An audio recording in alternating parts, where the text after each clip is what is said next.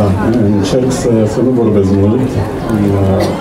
Cartea asta a apărut imediat după ce i-am văzut la televizor pe domnii Andrei Pleciu și Gabriel Lici. Am invitat la o emisiune de televiziune la sfârșit de an. Vorbeau despre anul care stătea să se termine, ce a fost bine, au vorbit foarte puțin, ce a fost rău, au vorbit foarte mult și la sfârșit moderatorul, cred că Luca Niculescu era, i-a întrebat cum se bine dispun totuși. Și ambii mi-au făcut onoarea să invoce volumele de dinainte, fie de tranziția ușoară și mi-erau la cap mă doare mintea. În momentul ăla m-am dus la calculator și imediat după ce s-a terminat emisiunea, care era înregistrată, evident, uh, le-am trimis mail-ul despre care a vorbit uh, Gabriel Licean.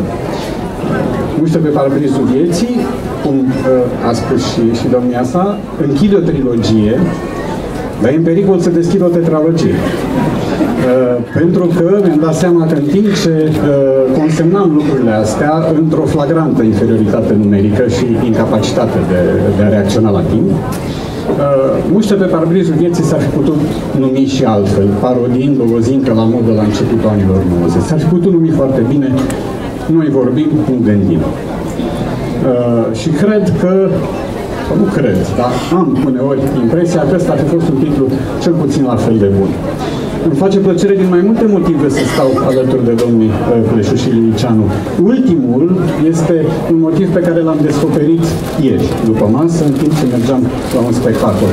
În sfârșit, sigur, la nivelul meu, dar în sfârșit am început și eu să fiu confundat. Asta este un test al notorietății pe care uh, unii îl trec cu grație, ca domnul Pleșu și Liceanu, alții îl trec osuflându-se, cum am făcut eu ieri. Pentru că uh, felul în care am fost uh, aproximat uh, n-a fost la nivelul așteptărilor mele. Uh, domnul Pleșu are un palmares aici, a fost confundat cu Pavarotti, Spis, Radu Anton Roman, și are deja uh, o panoplie pseudo-identitară cu, cu Gabriel Liceanu, aici este culmea confuziei. Da? Uh, domnul Preș a pomenit de Confucius, cartea aceasta vă instalează în Confuzius și în Grapiniadă, dacă mi permis termenul. Uh, Gabriel Liceanu a fost și dumnealui confundat, printre alții cu Iosif Boda, dacă mi-aduc bine aminte. E bine, uh, eu bănuiam că da, da, da, diferențe tot. Um, Pavarotti. Mai bine cu Pavarotti, e adevărat. Ieri, tot în registru muzical am fost și eu confundat de un taximetrist care m-a întrebat la un moment dat, după ce m-a studiat prin retrovizor vreo câteva minute, ce și, mai cântați? Am presupus că e un vecin de la scara cealaltă care are dormitorul lângă baie. Uh, dar nu la izvorul rece? Până la urmă, omul uh, n-a mai rezistat și mi-a spus nu sunteți Dan Ciotoi? Cine e Dan Ciotoi? Dan Ciotoi este uh, nu știu, vocalistul formației generic, am impresia, autoarea nemuritorului hit Se mărită mona mea. Uh, așa că, simplu fapt că am ajuns prilej de confuzie, uh, mie mi-a uh, umflat brandul și a făcut să apară în mine niște unguri de mândrie personală la care nu mă gândisem ieri pe vremea asta.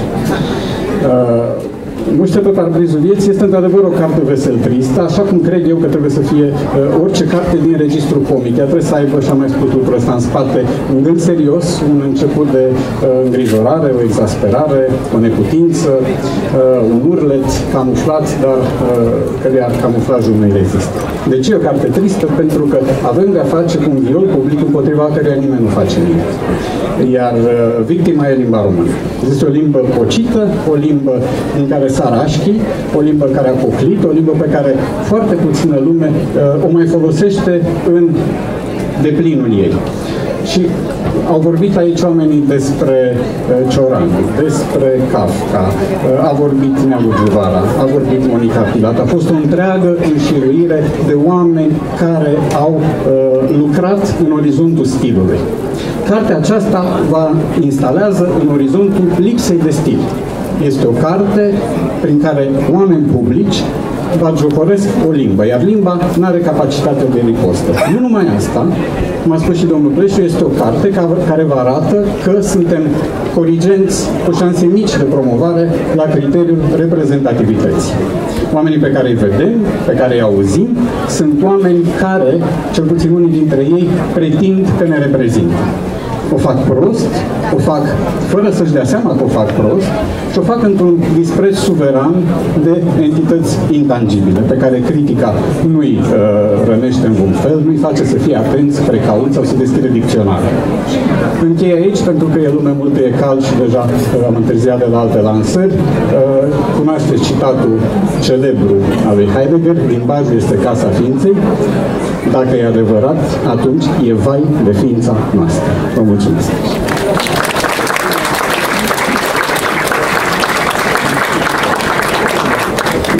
vreau să am ultimul cuvânt, dar cred că ca să încheiem totuși într-o notă tonică, trebuie să spun ceea ce mi-a spus uh, întreagăt o colegă de la Dilema, uh, doamna Iordănescu, care mi-a spus la un moment dat, dacă această carte, dacă tipul ăsta de carte are succes, dacă lumea totuși o cumpără, o citește și se amuză, ăsta e un prim semn de normalitate.